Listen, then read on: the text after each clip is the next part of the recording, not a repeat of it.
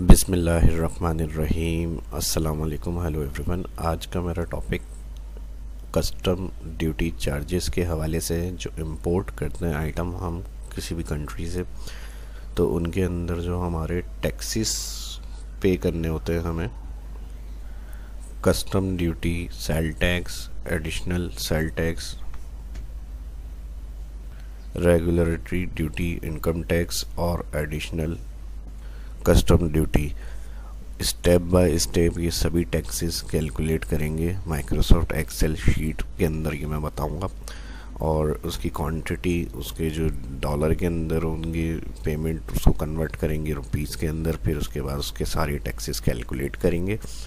तो ये सभी स्टेप बाय स्टेप मैं बताऊँगा। तो चलिए शुरू करते हैं आज की इस क्लास को। माइक्रोसॉफ्ट एक्सेल को ओपन करेंगे। डेटा मैंने जो फॉर्मेट है बना के रखा हुआ है यहाँ पे। बाकी जो फॉर्मूले हैं वो मैंने ब्लैक रखे हैं।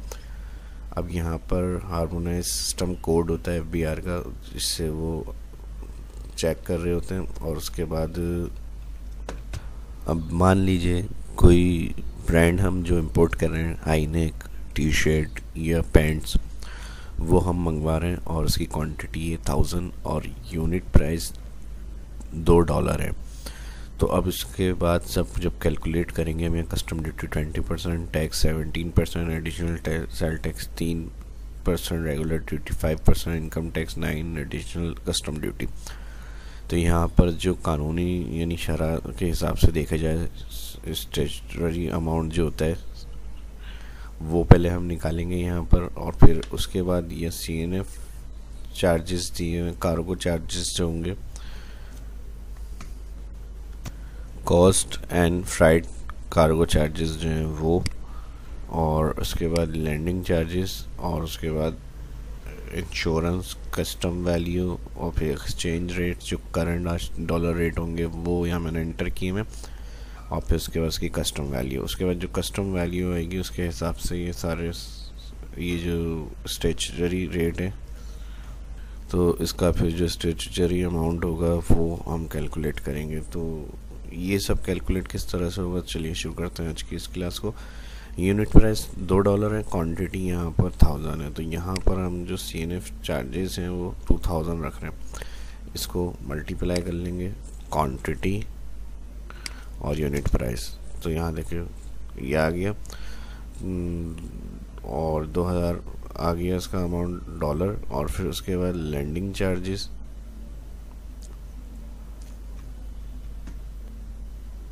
one percent landing charges charge करने हैं तो इसको हम इक्वल सी एन एफ़ कार को जो है, इसको मल्टीप्लाई करेंगे वन डिवाइड कर देंगे हंड्रेड तो यहाँ पर लैंडिंग चार्जेस आ जाएँगे इंश्योरेंस जो है sixty eight dollar custom value के अंदर आ जाएँगे इक्वल ये मैनुअल लिखी हुई है डायरेक्ट इंश्योरेंस जो होगी, वो यहाँ पर एंटर करेंगे हम. C N F charges plus landing plus insurance enter total custom value आ जाएगी, दो हज़ार अट्ठासी डॉलर और उसके बाद यहाँ पर हम एक्सचेंज रेट जो डॉलर करंट आज रेट है 164.1 इसको हम इक्वल कस्टम वैल्यू को मल्टीप्लाई करेंगे एक्सचेंज रेट से एंटर तो टोटल जो आएगा हमारा कस्टम वैल्यू हम पाकिस्तानी अगर करेंसी यहाँ से हम चेक करें, इसको जनरल कर देंगे. तो यहाँ पर हमारे पास तकरीबन ये अमाउंट आ रहा है तीन लाख बयालीस हज़ार छः सौ इकतालीस। ये टोटल कस्टम वैल्यू है जो पाकिस्तानी रुपीज़ के अंदर आ रही है हमारी। अब इसके हिसाब से हमें यहाँ पर जो रेट हैं percent custom duty sale tax additional sale tax regular duty income tax additional custom duty अब ये भी ऐसा नहीं है कस्टम वैल्यू से डायरेक्ट सब कैलकुलेट होंगे। इसमें भी कंडीशनल है। कुछ टैक्सेस पहले इससे कैलकुलेट करके प्लस करेंगे, फिर उसके बाद जो होगा वो इनकम टैक्स लगेगा और फिर उसके बाद और टैक्सेस भी है। वो मैं बताऊँगा। और फिर जो इनका टोटल वगैरह होगा वहाँ पर टोटल पेबल और इम्पोर्ट वैल्यू के अंदर अमाउंट आएगा। यहाँ पर जो सेल टैक्स इंपोर्टेड गुड्स है और इनकम टैक्स इंपोर्टेड गुड्स है इनकी भी यहाँ पे टैक्स कैलकुलेशन से पहले प्लस करनी है वैल्यू तो इसके लिए भी मैं स्टेप बता रहा हूँ। सबसे पहले जो इम्पोर्ट वैल्यू होगी, ये आपकी इम्पोर्ट वैल्यू यहाँ पर मुझे चाहिए तो इसके लिए मैं इक्वल लगा रहा हूँ। इम्पोर्ट वैल्यू वाले सेल पे और यहाँ से मैं कस्टम वैल्यू क्लिक कर रहा हूँ। ये सेम अमाउंट यहाँ आ जाएगा रुपीज़ फॉर्मेट में यहाँ पे कॉमा क्लिक कर दें होम मेन्यू में। और अब ये आ जाएँगे हम कस्टम ड्यूटी कैलकुलेट करने के लिए। सबसे पहले सिंपल कस्टम ड्यूटी कैलकुलेट करनी है, जो कस्टम वैल्यू है उसका ट्वेंटी परसेंट यहाँ पे कैलकुलेट करेंगे equal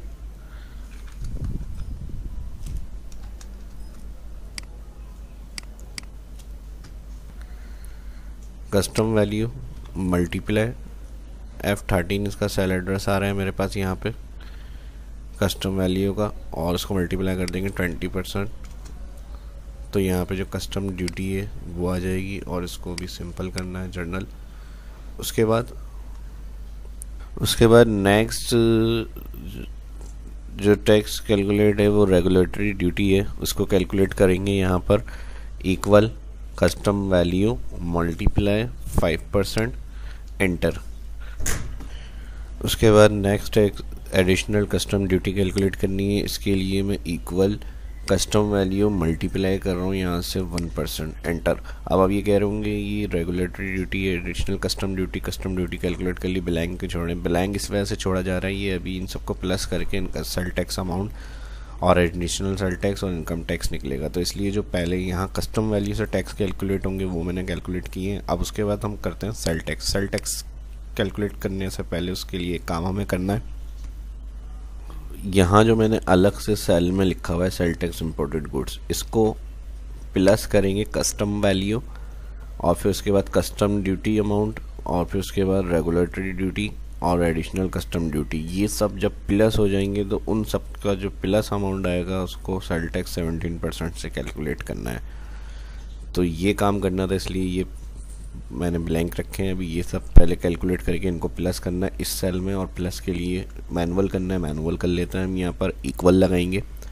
इक्वल के बाद जो कस्टम ड्यूटी अमाउंट है फ़र्स्ट इसको क्लिक कर लिया मैंने प्लस उसके बाद रेगुलेटरी ड्यूटी इसको क्लिक करा प्लस उसके बाद additional custom duty plus plus के साइन ऐड करते रहेंगे सी फाइव सेल एड्रेस का प्लस कस्टम ड्यूटी का, फिर उसके बाद रेगुलेटरी ड्यूटी जो है उसका C eight plus C ten additional custom duty plus यहाँ पर जो कस्टम वैल्यू है एफ़ थर्टीन ये सब प्लस हो जाएँगे तो ये अमाउंट आ जाएगा। इसको भी नॉर्मल जर्नल में रखना है हमें। तो ये आने के बाद अब हम इसको सेल टैक्स से कैलकुलेट करेंगे equal sale tax imported goods amount multiply आ जाएगा सेवनटीन परसेंट टैक्स एंटर और इसको भी नॉर्मल कर दें यहाँ पर. ऑल उसको भी सिलेक्ट कर रहा हूँ मैं जर्नल अब नेक्स्ट उसके बाद जो एडिशनल सेल टैक्स और यहाँ पर एडिशनल सेल टैक्स के लिए भी सेम यही काम करेंगे इक्वल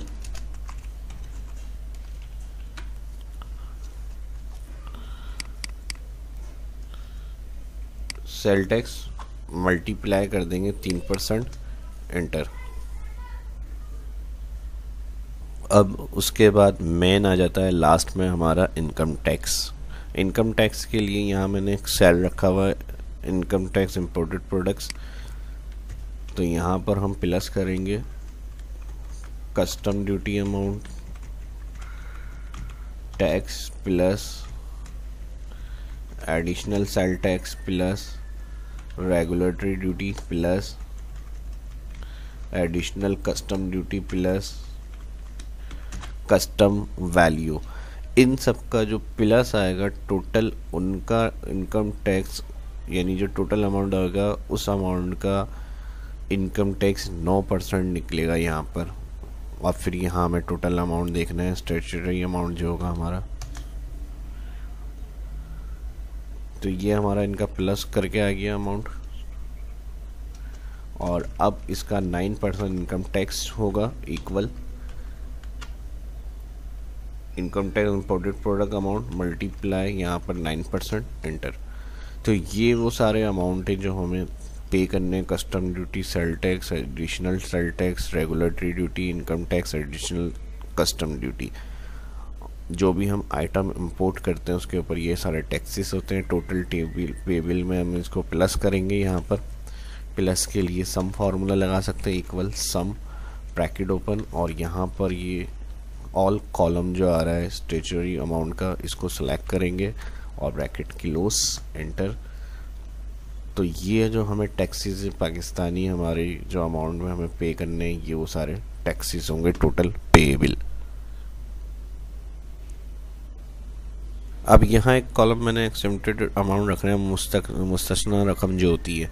अगर नाइन परसेंट हम दे रहे हैं इनकम टैक्स फाइलर में सिक्स परसेंट होता है तो तीन परसेंट हमारा जो है वो सेव हो जाएगा, अगर हम फाइलर हैं। तो इसके लिए इक्वल जो यहाँ पर इनकम टैक्स इंपोर्ट प्रोडक्ट है, इसको मल्टीप्लाई तीन परसेंट अमाउंट देखना है तो मल्टीप्लाई थ्री कर लें और परसेंट का साइन एंटर तो ये हमारा अमाउंट जो होगा वो सेव हो जाएगा. इसको हम यहाँ पर अगर कैलकुलेट कर लें तो मल्टीप्लाई सिक्स परसेंट देखें ये अमाउंट बनेगा हमारा, ये हमारे पास सेव हो जाएँगे फाइलर के लिए. बाकी जो अमाउंट होगा वो उसी तरह से सब यहाँ पे भी वो सेम वैल्यू आ जाएँगी. इसको इस तरह से रख सकते हैं इक्वल नेट पेबल इसको ट्रैक कर लें. और इसको भी यहाँ से इक्वल तो ये वो सारे अमाउंट आ जाएँगे। सिर्फ़ इसके अंदर जो एप्लीकेबल रेट होंगे वो चेंज हो जाएँगे हमारे। बाकी चीज़ें सारी इसी तरह से आ जाएँगी। और यहाँ हमने सम फार्मूला लगा के प्लस कर लिया। तो मेन मेन जो इसमें स्टेप्स थे, वो मैंने सब आपको इसमें बताएँ और सारी कैलकुलेशन समझाई। उम्मीद करता हूँ वीडियो आपको समझ में आ गई होगी। कोई क्वेश्चन है तो कमेंट में पूछ सकते हैं। फ़र्स्ट अगर इस वीडियो को देख रहे हैं चैनल को सब्सक्राइब कर लें आने वाली वीडियो के लिए बेल आइकन पर क्लिक करना ना भूलें। वीडियो अच्छी लगी तो ज़्यादा से ज़्यादा लाइक करें और सोशल मीडिया पर अपने दोस्तों के साथ भी इस वीडियो को शेयर करना ना भूलें। प्रैक्टिस करें। कोई क्यूरी कोई सजेशन है उसके लिए कमेंट करके पूछ सकते हैं, बता सकते हैं। अपना ख्याल रखें, दुआओं में रख। मिलते हैं नेक्स्ट वीडियो में। शाह इस्लाम को इजाज़त दीजिए। अल्लाह Hafiz.